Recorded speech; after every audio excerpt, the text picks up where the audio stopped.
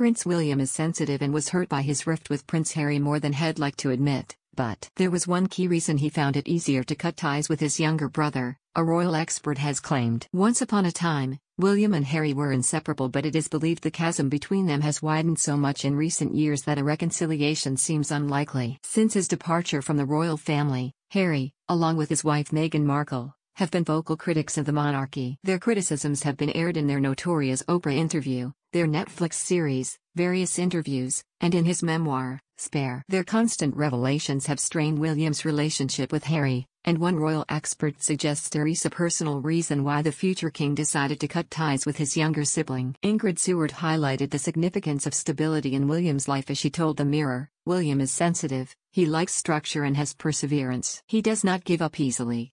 His relationship with brother Harry upset him more than he would care to admit. But he found it easier to cut ties rather than allow himself to be continually annoyed. Reflecting on William's challenging year, Ingrid added, his father got cancer and Kate had a serious abdominal operation. Later to announce she too had to have cancer treatment. William played both mother and father to the children while he carried on with his royal duties supporting the Queen in his father's absence. The traumas of the past year have made him a stronger person. He has become the kind of man Diana always hoped he would be. Kind, considerate, and able to take on whatever life throws at him. It's believed that the Prince of Wales has severed ties with his younger sibling, and it remains unclear when they last met. During his January 2023 interview on 60 Minutes, Harry was asked if he speaks to William now. Do you text? To which he responded, currently, no. But I look forward to. I look forward to us being able to find peace. When probed about the duration since their last communication, Harry admitted it had been a while. Harry also disclosed that it's been quite some time since he spoke to his father, saying, We haven't spoken for quite a while. No, not recently.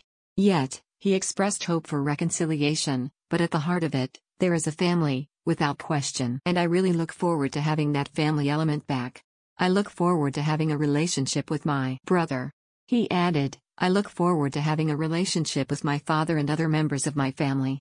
My brother and I love each other. I love him deeply. There has been a lot of pain between the two of us, especially the last six years.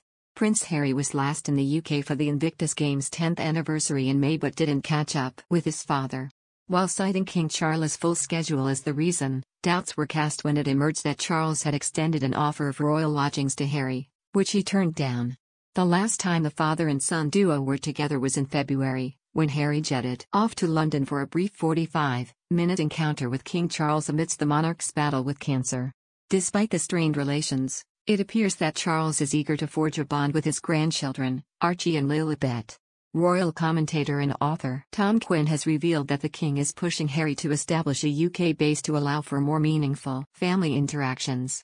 Yet, Tom is skeptical about Meghan joining her husband back in the UK, considering her previous experiences with the royal family. Tom said, King Charles has been putting pressure on Harry to do just this as he is angry that his only relationship with his grandchildren so far is via video calls, which Charles hates.